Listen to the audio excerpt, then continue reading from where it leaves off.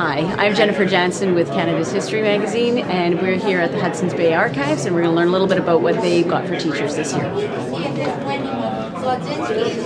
Yes, I'm Maureen Dolyniuk, and I'm the manager of the Hudson's Bay Company Archives. We are a division of the Archives of Manitoba, and we're here at the um, SAG conference to sort of um, publicize the resources of the Hudson's Bay Company Archives. And we have here a, a, a, a display that shows some of the range of resources we have available at the archives.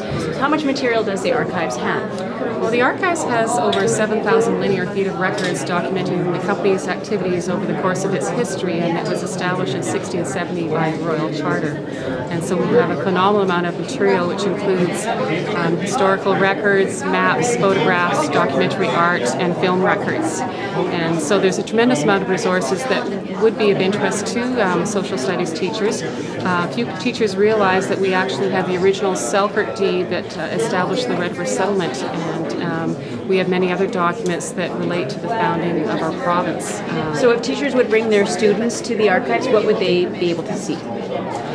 Well, um, if they were to prearrange a tour with one of our staff, we would um, organize a tour where they could see a range of records relating to um, the early Red River settlement, um, um, relating to the posts that were um, operated by the Hudson's Bay Company in around Manitoba and beyond, and perhaps some historical maps, for trade routes, and various things that might relate to the things that they're studying in their curriculum.